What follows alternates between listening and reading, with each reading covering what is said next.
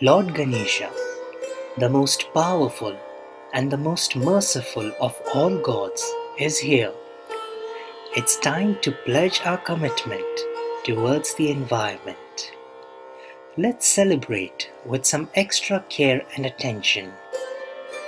This Anant Chaturdashi, let's pledge to observe simplicity and strive to impress Lord Ganesha with eco-friendly Ganesh idol immersion and ensure that we do not harm the environment.